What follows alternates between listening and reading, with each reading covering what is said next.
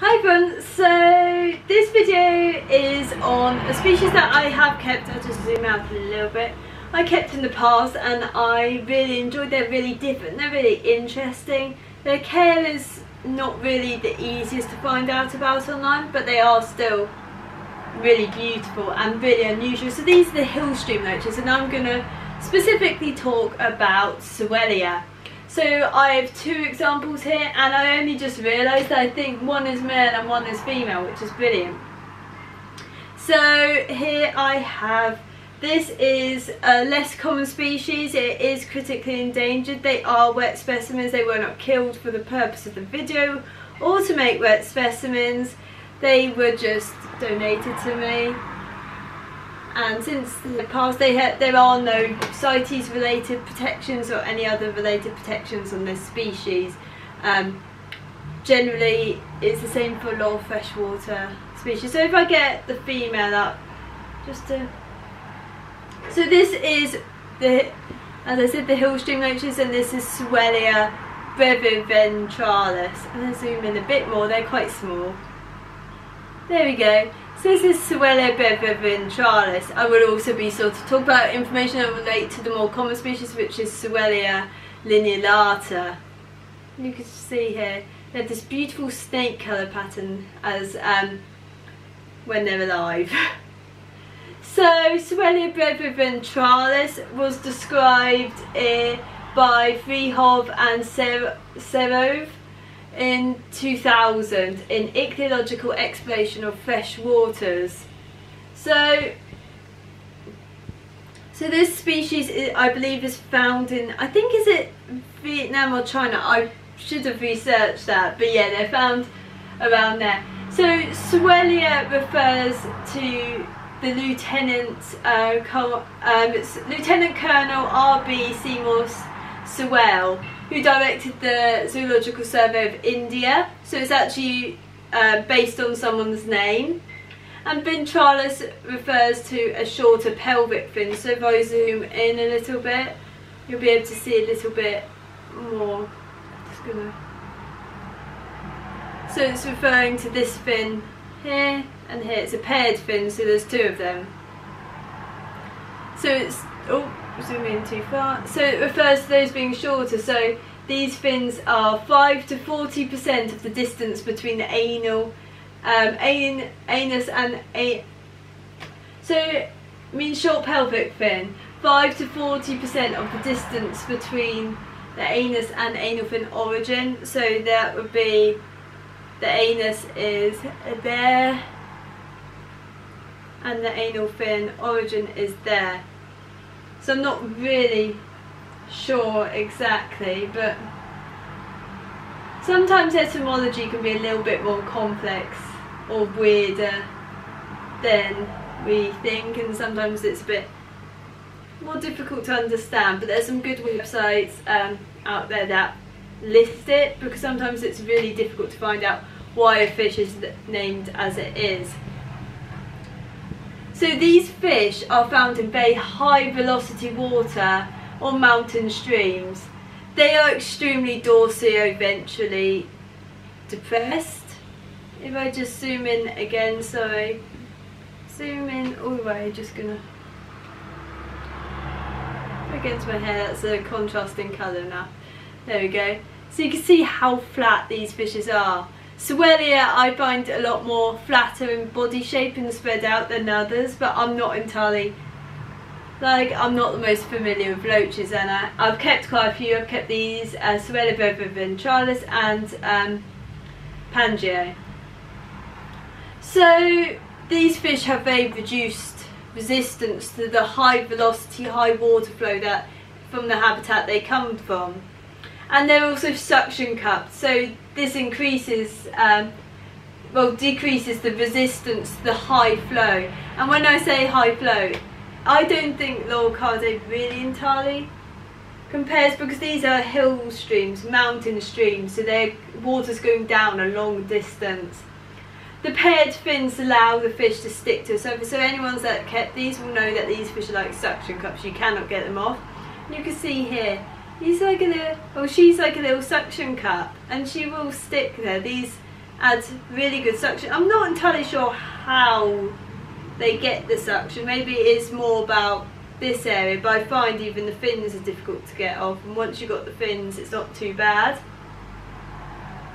I doubt due to the flow rate there will be any sand um, in the area and generally because this will be carried downstream along with any sediment quite quickly.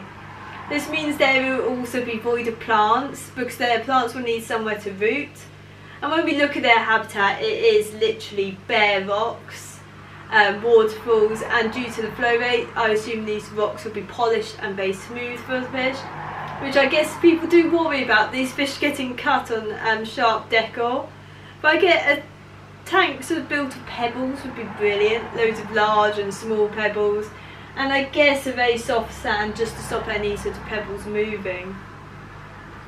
The temperature of the water is around 20 to 24 degrees centigrade, so very cool, and this allows for a higher oxygen saturation.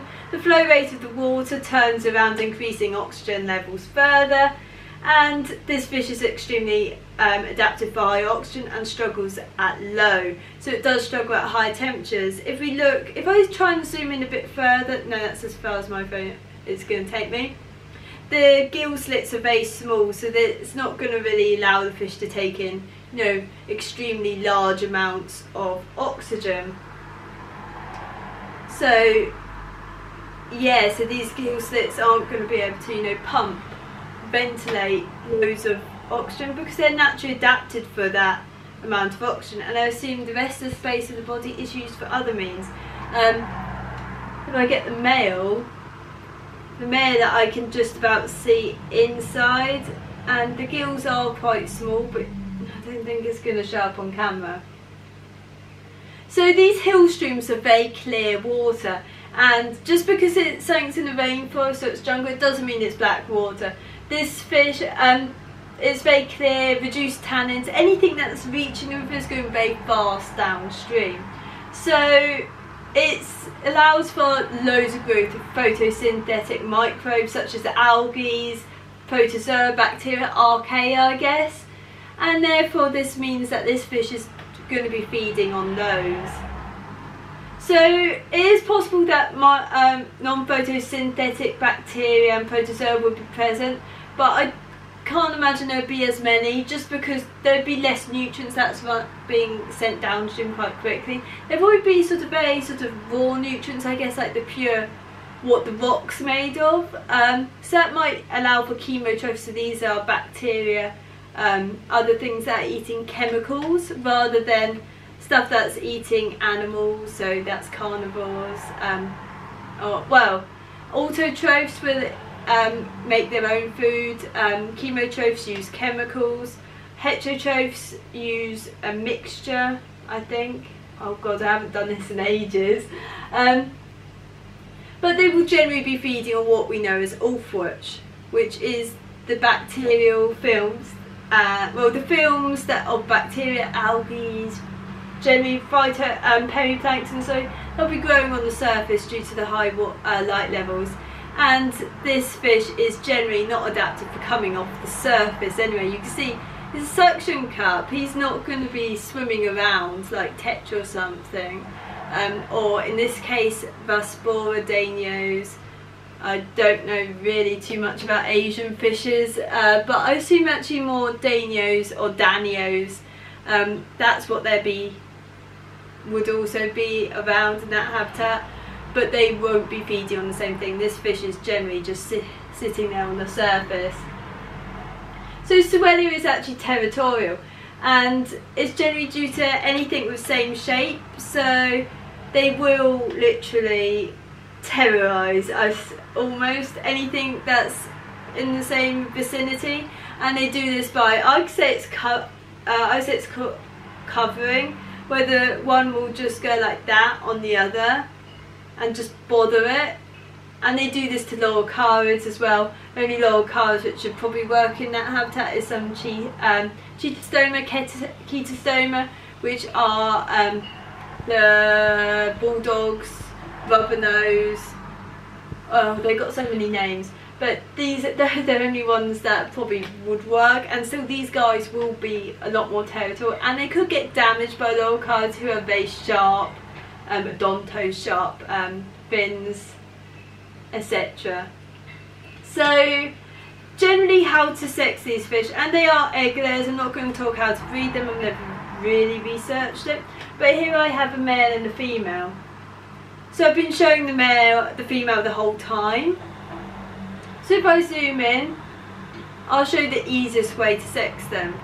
So here in my left hand, this is a female and the other one is a male.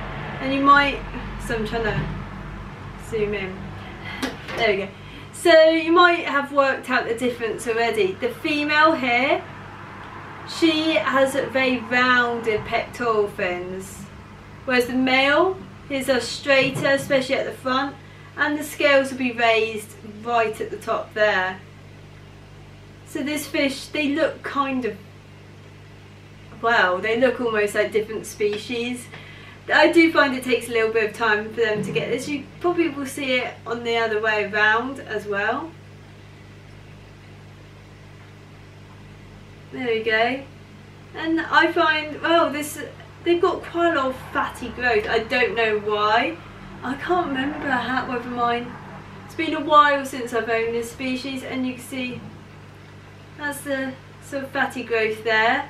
I doubt there's anything to do it, but males will get more tubercles around the head, well larger tubercles around the head and fins.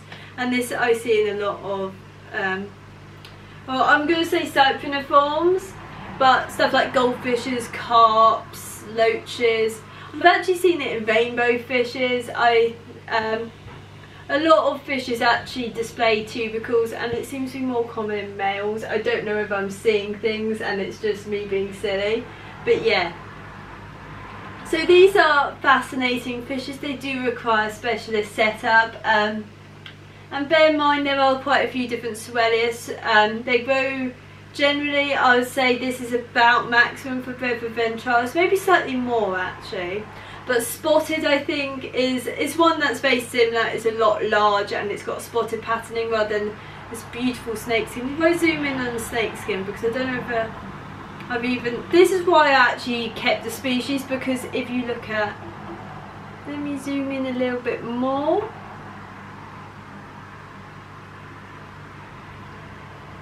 Oh, it's got this lovely snakeskin pattern, which is why I kept the species. It, I think it's beautiful, and I like snakeskin. Um, I've got a pet snake anyway, but she's not got a beautiful snakeskin pattern. Um, but I think it's really nice, and it's a really nice example of something that's unusual, beautiful, active. And you probably will see, unlike a Laurel card. So, yeah, so this is probably more of a brief introduction to Sewellia, not as detailed as it could be, um, and they're an absolutely fascinating group of fishes.